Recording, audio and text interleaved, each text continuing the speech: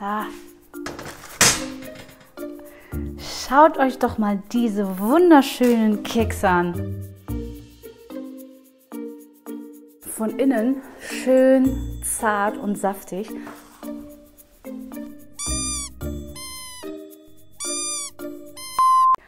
Hallo ihr Lieben, herzlich willkommen zum neuen Video. Heute wird es süß und schokoladig. Äh, und zwar mache ich heute mal wieder nach langer Zeit ein Gebäck. Es ist so eine Art Roreba, besser gesagt Schokoladenroreba. Eigentlich kann man das nennen, wie man möchte. Ob das jetzt äh, Schokoladenroreba ist oder Schokoladenbomben oder Schokowölkchen. Ähm, das, der Titel ist jetzt noch nicht festgelegt, aber das werdet ihr spätestens, äh, in, ja, wenn ich das Video hochlade, in der Videobeschreibung sehen. Ja, ich denke mal, wir fangen auch direkt an. Das Gute, ach so, das Gute an der Schokoreba ist, also die ist von innen schön zart und saftig. Also die lassen da extra mal so einen schönen weichen Kern da drin. Und ja, los geht's. Lass uns doch einfach mal direkt starten mit den Zutaten. Hier seht ihr auch direkt die Zutaten.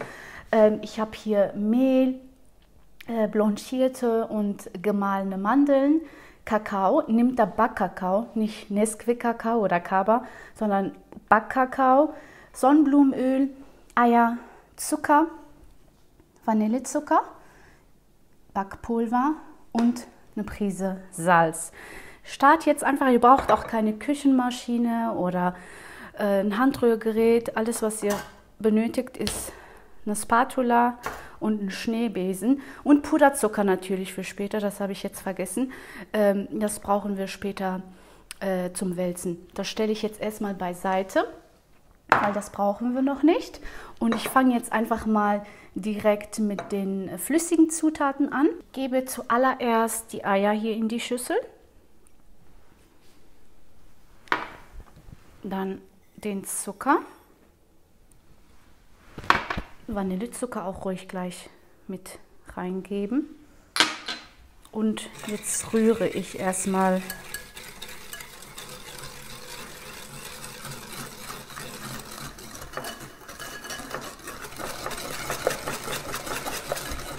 Ihr müsst auch gar nicht lange ähm, rühren, einfach nur zwei Minuten oder so bis eine cremige Konsistenz entsteht.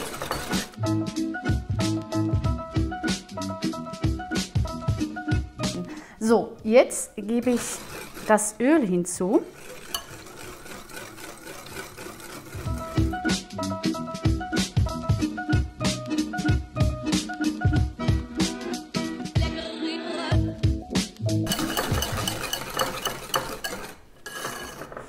So, ich habe jetzt so lange gerührt, bis die Farbe sich ganz leicht verändert hat. An dieser Stelle gebe ich jetzt die Prise Salz hinzu. Die Mandeln gebe ich jetzt direkt hinterher und verrühre die erstmal. Da sind jetzt noch so grobe Stückchen drin, deswegen lassen die sich jetzt nicht so gut ähm, sieben. Das Mehl. Kakao und Backpulver. Einfach hineinsieben.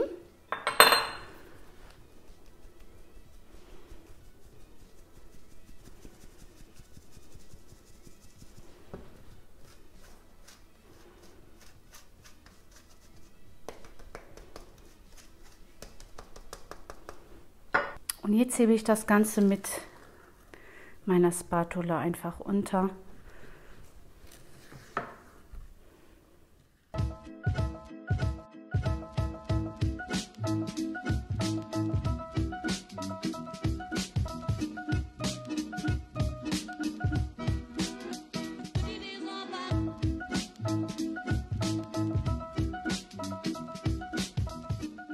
Leute, wisst ihr was? Das wird mir jetzt ganz alles so ein bisschen umständlich. Es gibt nichts Besseres als die eigenen Hände. Ich benutze jetzt einfach meine Hände und knete jetzt die trockenen Zutaten schön ein.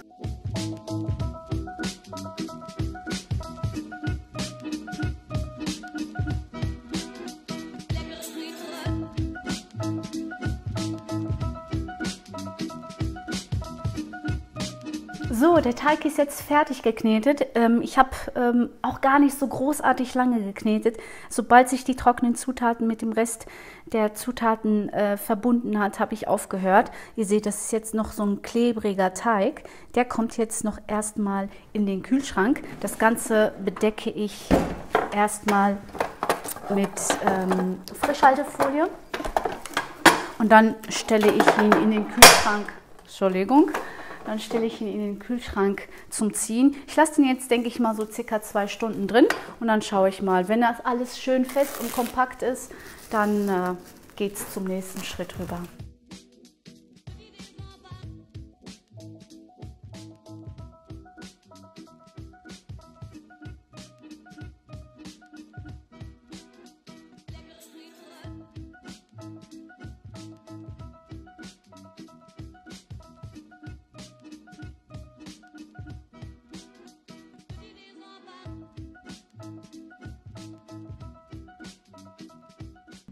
Der Teig ist jetzt aus dem Kühlschrank. Die Kühlzeit ist jetzt vorbei und ähm, jetzt formen wir den zu kleinen Kügelchen, was ich immer ganz gerne mache. Und schaut euch bitte diese Konsistenz an. Also ihr könnt jetzt wunderbar damit arbeiten. Seht ihr das? Es klebt nichts an. Also so liebe ich es. Äh, Keksteige zu verarbeiten. Ähm, ich mache das immer ganz gerne, dass ich ähm, die kleinen Portionchen, die kleinen Bällchen abwiege. Für mich ist immer die optimale, das optimale Gewicht 20 Gramm. Also ihr könnt, wenn ihr große haben wollt, dann macht ihr 30. Ich mache immer ganz gerne 20, die sind so nicht zu groß und nicht zu klein, also eigentlich optimal. So, Puderzucker, den Puderzucker, den haben wir ja hier. Ich forme erstmal ein paar Kügelchen und lege die da einfach da rein.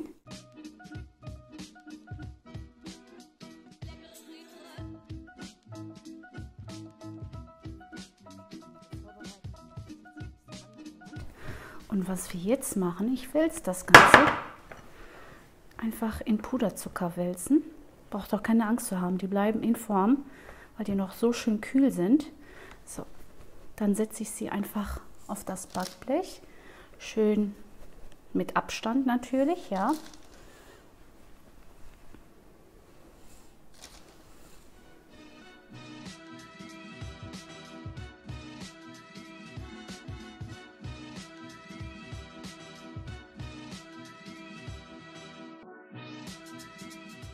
Jetzt mache ich einfach weiter, bis ich mein Backblech voll habe und dann gehen die Kekse äh, in den vorgeheizten Ofen bei 180 Grad für circa 10 bis 13 Minuten.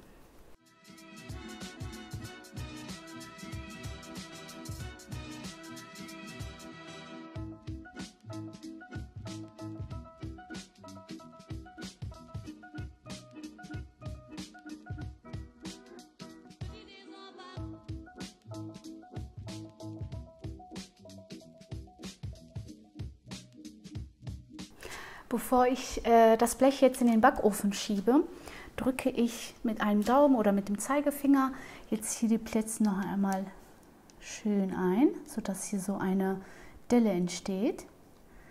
So, gar nicht so sehr, gar nicht so fest, einfach locker eindrücken. So erhalten wir dann später ein schönes Muster, wenn dann die Kekse im Backofen dann ja, dieser charakteris charakteristische Reba-Effekt entsteht dann. Und dann hat man diese Risse und diese Delle in der Mitte, sieht einfach nur optisch schön aus.